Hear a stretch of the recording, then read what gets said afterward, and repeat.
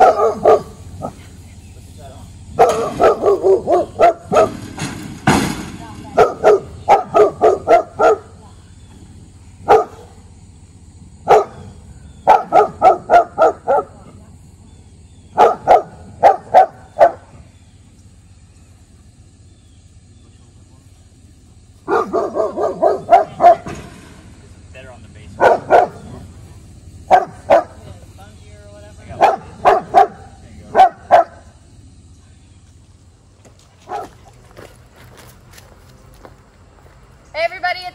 Cassie with Off Leash Canine Training Philadelphia, and today I'd like to introduce you to River. River is a one-year-old boxer who just joined us for our two-week board and train program. Mom and Dad told me that we're about the fourth trainer that they've had for River. Some of the issues that they're still dealing with um, that they're really looking to correct is that he's a big-time leash puller. Some of the members of their family are unable to walk him because he's too strong and they're worried they won't have control over him. But the biggest reason is to boost his confidence.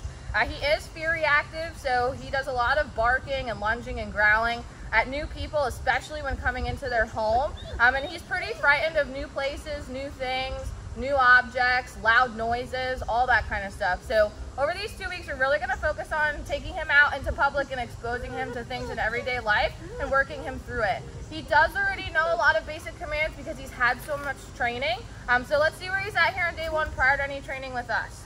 River, come. Good boy. River, sit. Good boy. River, down. Down. River, sit. River, sit. Sit. River, down. Down.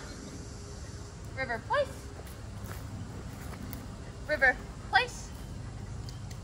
Now, place. We can't do place. River. Heel.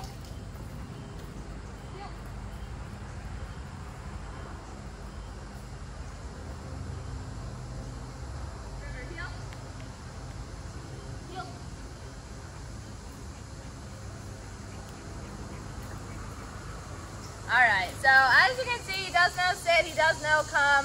I, I'm told that he knows down, but he really struggles to perform those commands consistently outside of the home. So I'm looking forward to working with this guy. Not quite sure that he'll be an off-leash dog, depending on how severe the fear reactivity is, but we're gonna do our best and get him as good as he can over the next two weeks. So stay tuned to see all of his progress. Come on, River, let's go.